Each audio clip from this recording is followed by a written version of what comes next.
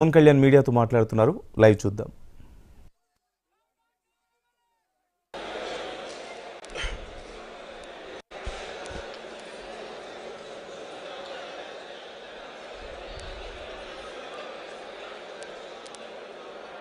నూట నలభై నియోజకవర్గాల నుంచి వచ్చిన మండల అధ్యక్షులు డివిజన్ అధ్యక్షులు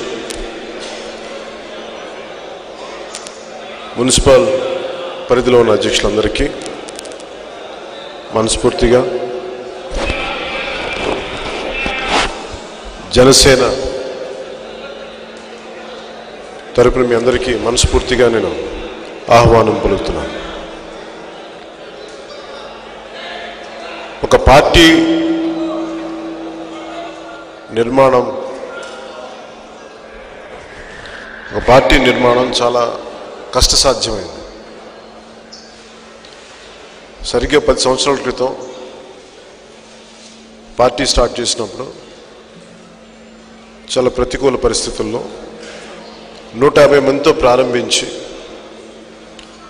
చాలాసార్లు మన సభల్లో చెప్తున్నప్పుడు ఎప్పుడు మీ మండల అధ్యక్షులు- అధ్యక్షులు ఎవరు కనిపించారని అడుగుతూ ఉంటారు.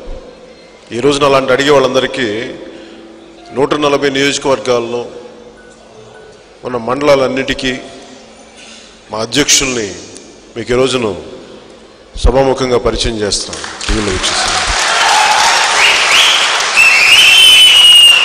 అలాగే మిగతా ముప్పై ఐదు నియోజకవర్గాల్లో అక్కడున్న చిన్న కొంచెం చిన్నపాటి ఇబ్బందుల్ని ఓవర్కమ్ చేసుకొని కొంత స్ట్రీమ్ లైన్ చేసి మిగతా ముప్పై ఐదు నియోజకవర్గాల్లో కూడా త్వరలో అనౌన్స్ చేస్తాం.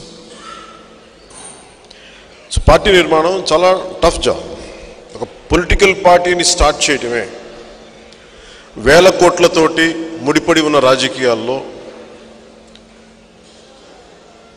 వందలు వేల కోట్లు లేకుండా కేవలం ఒక సంకల్ప బలంతో ఒక ఐడియాలజికల్ కమిట్మెంట్తో ఎన్ని పార్టీలు వచ్చినా సరైన న్యాయం జరగట్లేదు. ప్రజాక్షేత్రంలో వారసత్వపు రాజకీయాలు కాకుండా తప్పన పడేవాళ్ళు భావజాలం బలం ఉన్న వాళ్ళు రాజకీయాల్లోకి రావాలి.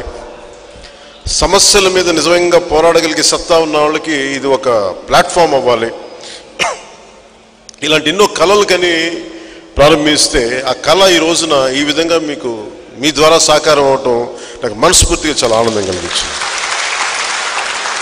ఒక నేను ఎప్పుడు నాయకుడు అనే పదానికి నేను ఎప్పుడు తీసుకోను. నా సాటి మనుషులకి నా తోటి మనుషులకి నేను ఏదైనా చేయగలను దాంట్లో భాగంగా పది మంది చూస్తారేమో నాయకుడిని అని మీకు అనిపిస్తాము కానీ నేను మీలో ఒకడిని మీ ఒక కార్యకర్తని అనుకోండి. జనసేన నేను కూడా కార్యకర్తను. లేకపోతే నాయకత్వపు బాధ్యతలు వహిస్తున్న కార్యకర్తను. అంతే. కానీ ఒక పార్టీని తీసుకెళ్ళడానికి చాలా అనుభవించాల్సి వస్తుంది. లేడికి లేచిందే పరుగు అన్నట్టుగా పార్టీ పెట్టగానే వెంటనే ముఖ్యమంత్రి అయిపోతాం. అసలు ఎందుకు వచ్చావు పార్టీలోకి? ఇట్లా పద్నాలుగు నుంచి నేను చాలా అనుభవిస్తూ ఉన్నాను. నేను మార్పును కోరుకున్నవాడిని. పరివర్తన. ఒక ఇంట్లో వంట చేసుకునే గృహిణి ఎంత జ్ఞానం ఉంటుంది ఎంత తెగింపు ఉంటుంది అవకాశం ఇస్తే ఈ రోజున అలాగ అవకాశం ఇచ్చాం కాబట్టి ఇంతమంది మహిళా నాయకులు మహిళా నాయకురాలు ఈ మధ్యన బయటకు వచ్చారు. అలాగే డబ్బు లేకుండా రాజకీయం చేయొచ్చా అంటే అది సాధ్యమని చూపించాం మనం. సో దీంట్లో భాగంగా కొంతమంది మన నాయకులు డబ్బు లేకుండా అంటే అసలు డబ్బులు ఖర్చు పెట్టద్దని కాదు కాఫీలు టీలు కూడా ఇవ్వద్దని కాదు నా ఉద్దేశం. చాలా కన్వీనియంట్గా వాడేసుకుంటారు. జీరో బడ్జెట్ పాలిటిక్స్ అనేది. జీరో బడ్జెట్ అనే పదం నేను ఎప్పుడు చెప్పలేదు. అందరూ జీరో బడ్జెట్ జీరో బడ్జెట్ చెప్పి చాలా కన్వీనియంట్గా మాట్లాడేస్తారు. జీరో బడ్జెట్ నా ఉద్దేశం ఏంటంటే నేను ఎప్పుడు నా నోట్లోంచి ఆ పదం ఈ రోజు దాకా నేను ప్రపోజ్ చేసింది కాదు ఆ పదం.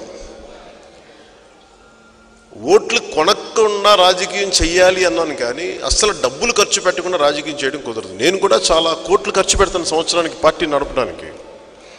అలాగే నాయకులుగా ఎదుగుదాం అనుకున్న ఎమ్మెల్యే స్థాయిలో వ్యక్తులు కానీ లేదంటే ఎవరైనా సరే కనీసం డబ్బు లేకపోతే